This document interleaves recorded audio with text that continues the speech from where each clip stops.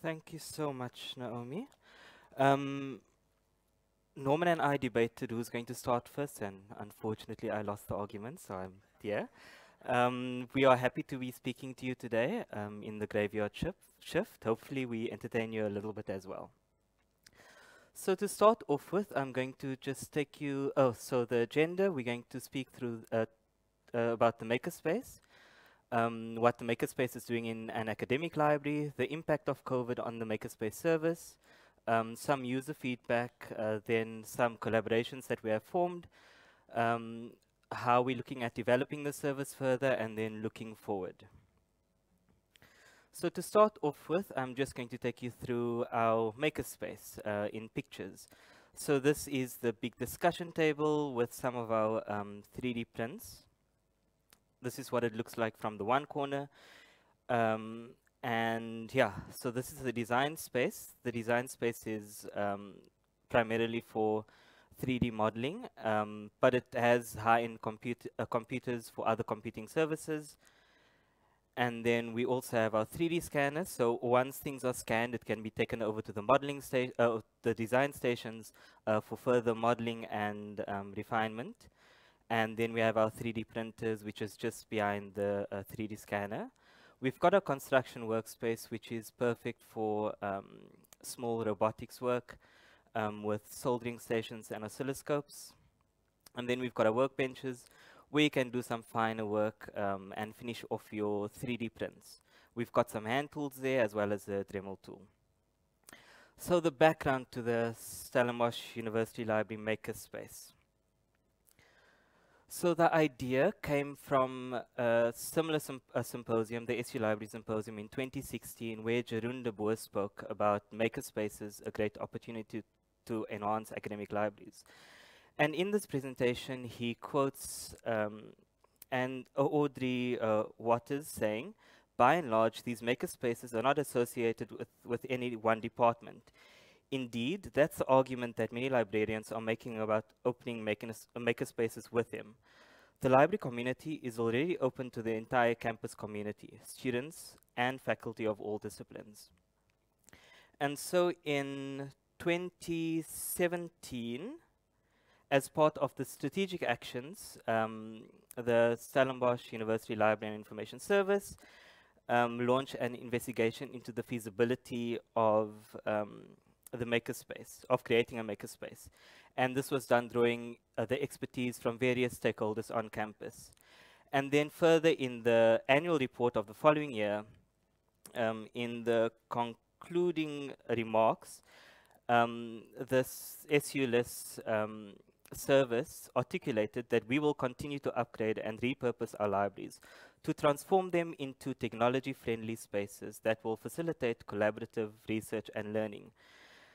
And so um, it comes at no uh, surprise that in the strategic directions for 2021 to 2025, which was the following um, iteration of strategy for the library, that um, there was the objective to optimize innovation spaces for the digital-centric and entrepreneurial user, which is um, exactly where the makerspace falls perfectly in.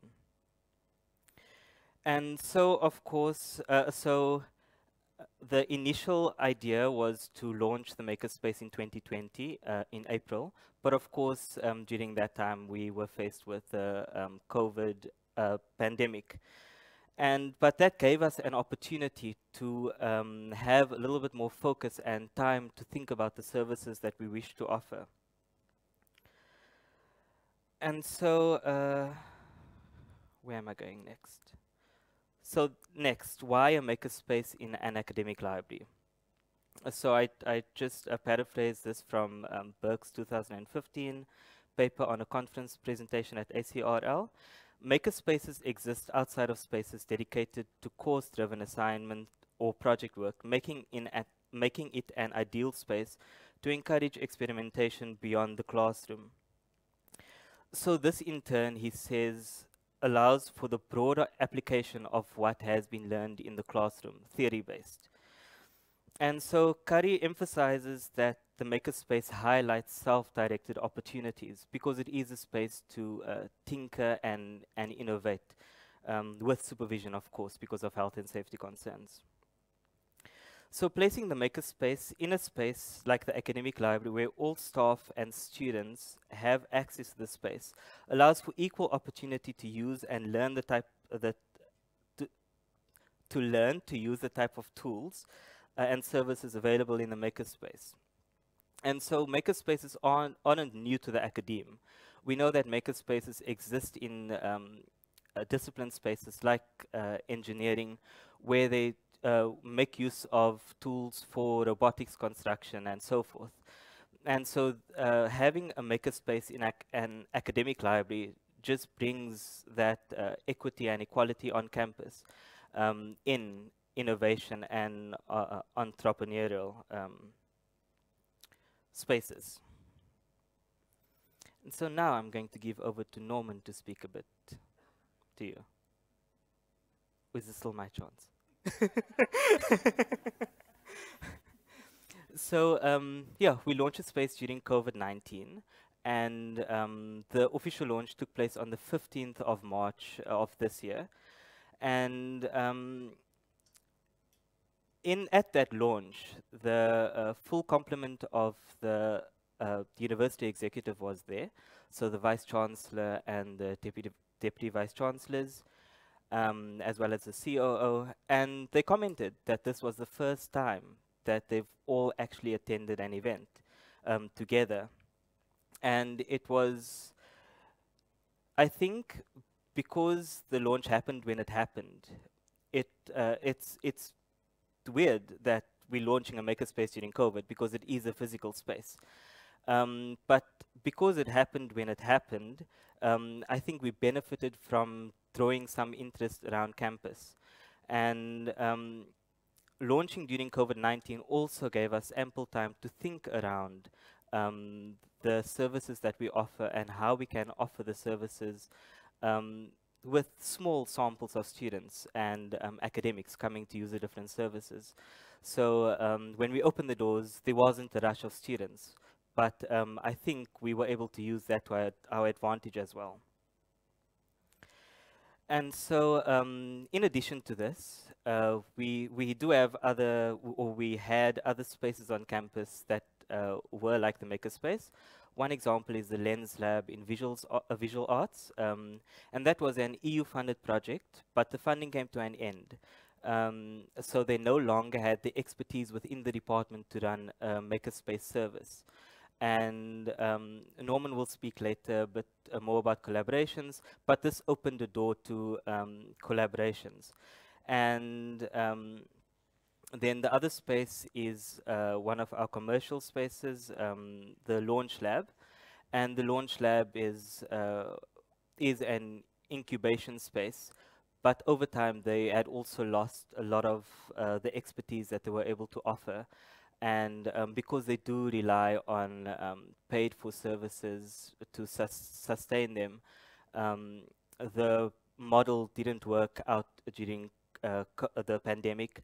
Um, now they are, of course, working on other models um, to build their services around, uh, but it, it just goes to show that um, in the end, for at least for our context, the makerspace in the library the opening and the placement um, coincided in a, in a manner that was actually perfect for us. Yes, and I spoke about this. Um, launching the Makerspace during COVID-19 gave us an opportunity for some deep thinking around the service offerings.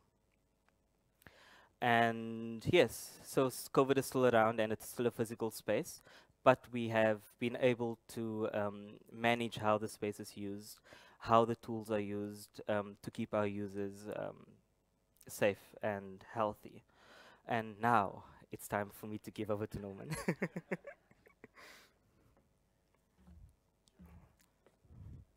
oh.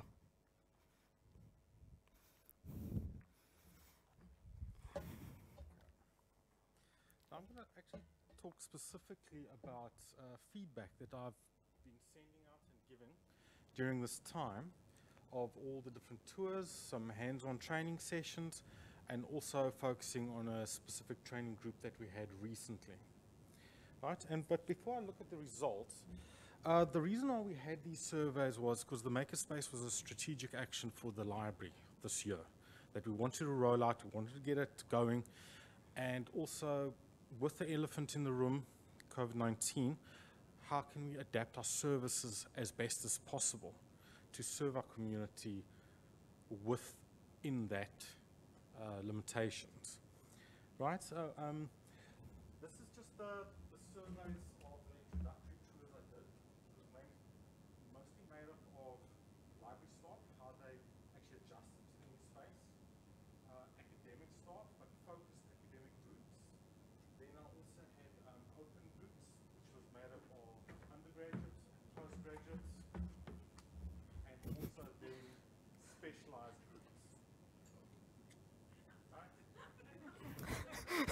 Um, okay, and in that you can see um, with the Make the Space introductory tours, we actually invited 90 people to respond, right? And we had a response rate of 32% with 29 respondents. But this wasn't, um, it wasn't always ju just general responses I sent out. I actually had individual discussions with a lot of the groups and a lot of the people. Also, the result, uh, the survey wasn't anonymous either, because I was looking for quality feedback. And what I'll show you in the next group was, with the survey results, uh, the academic staff gave the most feedback and actually the most detailed feedback, which was good. That's what I, what I was looking for.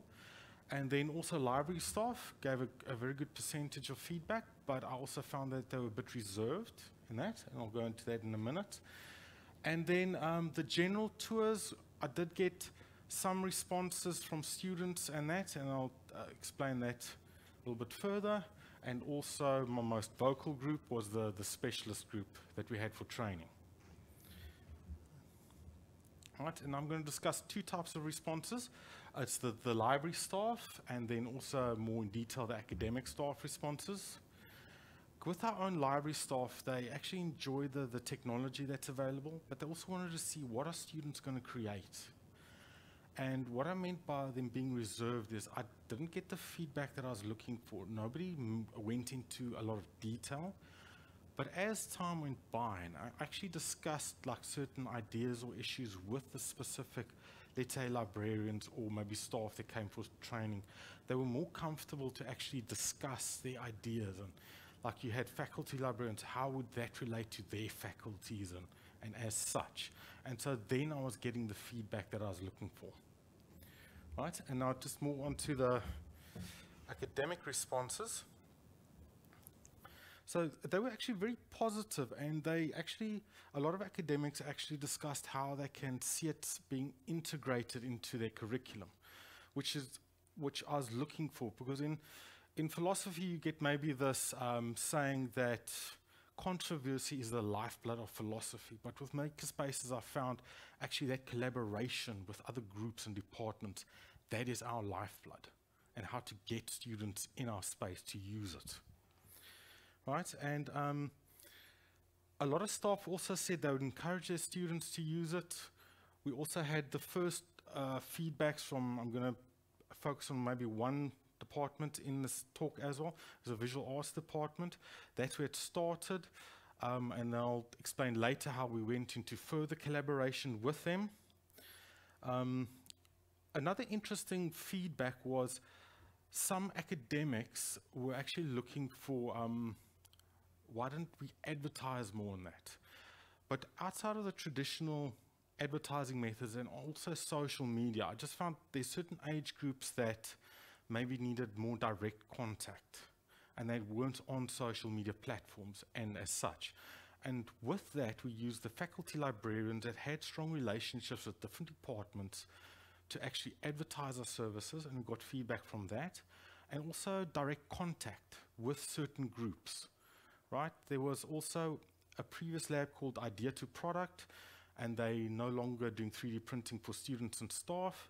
And so how we collaborate is they refer their students to us, and we advertise their maybe their CT scanning, which is X-ray scanning and very specialized scanning.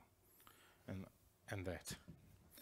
Right, and there was also um, a request for actually 3D printing during tours. But the way we do 3D printing, it's printing on demand, and once people have paid for it, we go through a certain process. But so we try to coordinate our 3D printing with those kind of tours, but also very specifically, not just at the start with it's finished 3D printing, but let's about halfway. It's just to get people to actually see that visualization of the 3D printing, not just doing something, but they can actually recognize the object that is being printed, right? And I've had a few comments on like that with people that have never actually seen 3D printing work before. Um, I did have some academic staff requiring more technical demos, right? And that's why I've started actually lengthening the introductory tours, but also not too much because I also had academics saying, you can't get too technical because some of the students won't actually understand the terms and that. So I always tailor the, uh, the introductions to whoever's actually partaking and also academics as well and see how we can relate that tour, what the services we offered to that specific group. Okay, now I'm going to also look at the training calendar tour responses. And if you're wondering what iPad stands are doing up there, one of the first comments I got was, um, because I was using maybe a more traditional method of actually getting the reviews in that, uh, the responses from academic staff was good, right? But I found that students wanted a more instant method of actually providing feedback because sometimes once they they've moved on to something else during the day, they've completely forgotten what they where they were at, right? So basically, um, this is also upcycling old iPads. It's assets that you can consider that had no longer use. But there's two things that those old iPads who were like over nine years old could do. They could stay on for a few hours and they can project an image, right? But they, there's also limitations. You can't update apps, a lot of other technical things. But in doing this, it's perfect. I mean, it's very easy to push out for maybe a tour where people can just scan the QR code with their phone and it'll instantly go to the survey, a library guide, or more electronic resources for those tours. And I think I found that that's actually a very good fit for uh, that kind of asset in reusing it. Um, I also had some good responses from like your undergraduate and postgraduate students because they also said, because we limited the, the amount of people that could come in, it allowed for more discussion and feedback as well. But I also had responses where they did want um, longer tours, more interaction, but I also had to balance that with the COVID regulations at that time as well. Right?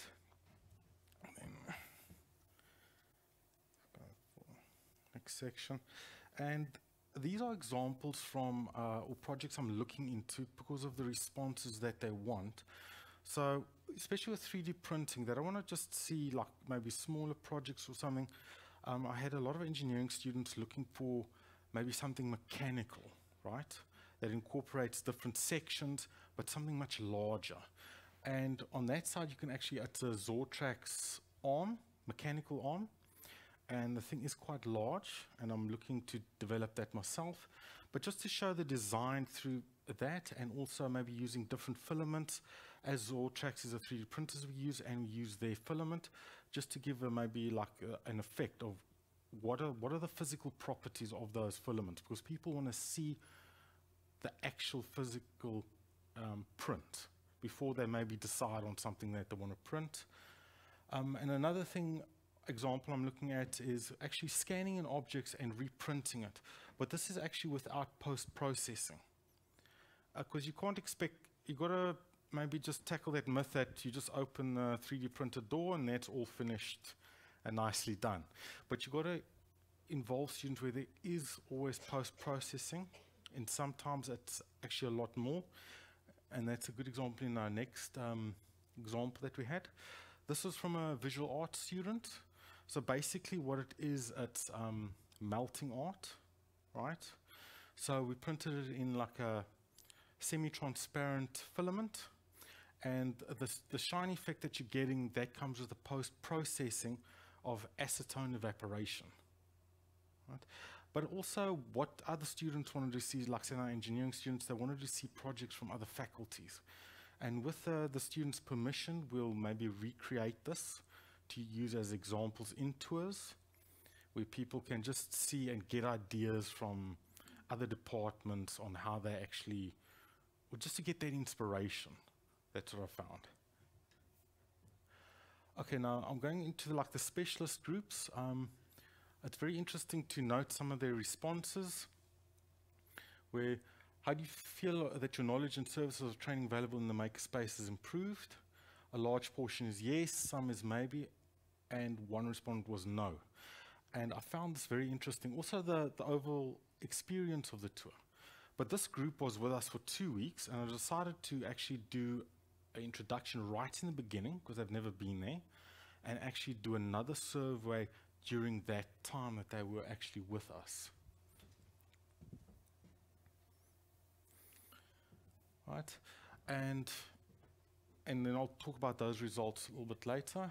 Um, this is one example that I'm actually looking at for using on those kind of students, but also on a, on the greater aspect. If you don't know what this is, it's actually a Newtonian reflecting telescope that can actually disassemble. It's mostly 3D printed and can fit actually into your hand luggage that you can actually travel with, right? And the different aspects, especially with maybe these kind of students, is maybe all of it can be 3D printed, but some of the elements you maybe want to use carbon fiber to increase the lightness of it. Uh, there's certain elements that you cannot uh, 3D print, like your parabolic mirrors, that you either have to import, scavenge from an old telescope, or actually hand make it. So it just gives maybe um, students like the creative students or engineering students uh, aspects on, like, let's say if you change the size of it, that affects the focal ratio of the mirrors. So you've got to take a lot into consideration. Also, if you're prototyping this product, the cost of your materials and things like that. Okay, now this is the, the hands-on training sessions, right? As you can see, the results, it's very satisfied and satisfied. And I found that there was an increase in the positivity rate of students from, let's say, just a general tour to when they actually spend time actually doing the project. And with those training sessions, we kept it to maybe a maximum of four people. We didn't have any student sharing projects. There was two staff members to support these students. And you see, and then actually got a much better feedback. And the feedback I got was a lot more positive and how they can carry on with electronics, registering for other courses and that. Okay, now I'm going to investigate like Makerspace as a training venue. This was actually the group that we used, right? And the question, one of the questions I posed to them, does it meet your expectations? And it was completely yes. But plus other questions in that review. So where they actually stated they, they weren't like no, maybe, but that was because of fear of technology, right? And when the students engaged more with the space, they actually became less fearful because the students were actually honest. The one said, I'm not tech savvy. I feel very intimidated by this technology. So you've also got to take into account uh, with a scenario like this, how can you um, discuss this with a lecturer? How can you best support these students? This kind of fear. And as you can see, um, it was very fluid during the, the, two weeks that they were there. The students can come and go between the demonstrations and their crits. Um, this is just a quick example of what they designed in those two weeks and a, a quote for pushing the envelope there. And these models would be actually later 3D printed. Um, I also asked how do they find the equipment and, and the software because we were um, very focused on actual the design aspect with this group, uh, they actually pushed the limits of our PCs, even though we got very high-end PCs. But it's good to have this kind of feedback on a yearly basis so you can actually just see that your equipment matches um, the software requirements released every time. But also with this, uh, we used open source software where we could use an education license, but this was actually commercial grade software that they needed. With our own IT department and another IT department on campus, we managed to have it installed on these PCs at a short notice and that is actually good when you've got a smaller footprint. Because if you're looking at a, maybe a larger lab, it becomes more difficult because they've got yearly cycles when they do um, software upgrades and that. And this is the actual group that we used for the last two weeks. But remember, these results are specific to this group. Um, and with the collaborations that we've had from academic departments, this is one of them where it started out like that because they had their own kind of makerspace for, for their needs, but that, because they ran out of funding, that closed, so they needed another place to actually work in and that. And even though um, they actually do have their, still their own 3D printers, we actually offer different expertise and maybe different filaments that they actually don't have, right? And also in some of my training sections, I'm actually providing maybe uh, a feeder for, let's say, students that want to do more advanced CAD design, because the department also hosts part-time CAD courses. And also, this is a possibility for other departments on campus, where you actually provide introductory and then giving them feeder students for their more advanced courses. And also there's collaborations with other departments, maybe taking over redundant equipment. And also if you've got your own space, think of that because you might not have to always lay out the equipment and that. So it's all about collaboration with other departments especially. But let me just finish up now because I've got Jeremiah waiting for me to carry on. So um, I think, yeah, you can come on.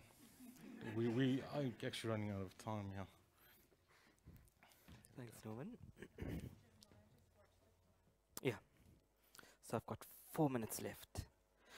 And so, um, you know, when launching a space like a makerspace, we of course did our homework.